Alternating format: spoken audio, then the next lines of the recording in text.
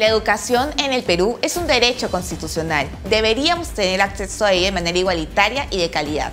A pesar de que sabemos de que nuestra educación es obsoleta, precaria y deficiente en varios parámetros, nuestras autoridades a la fecha no toman las debidas acciones para mejorarla, pues al parecer para ellos una educación de calidad es la excepción y no la regla, no es su prioridad. Nosotros como ciudadanos debemos alzar la voz y exigir que este derecho se nos respete. No solo basta con incrementar el presupuesto para la infraestructura, sino también para capacitar a nuestros docentes y darles un sueldo digno. Así, tener profesores calificados y competitivos.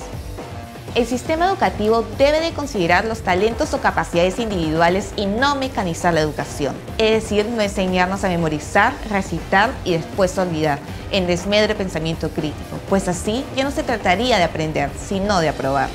La coyuntura actual de nuestro país es el evidente resultado de una crisis en la educación, que trae como consecuencia una crisis política.